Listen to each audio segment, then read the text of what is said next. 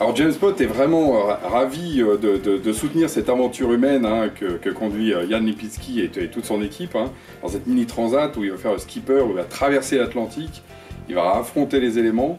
Et pour nous, c'est une aventure humaine incroyable. En plus, le bateau s'appelle Entreprise innovante.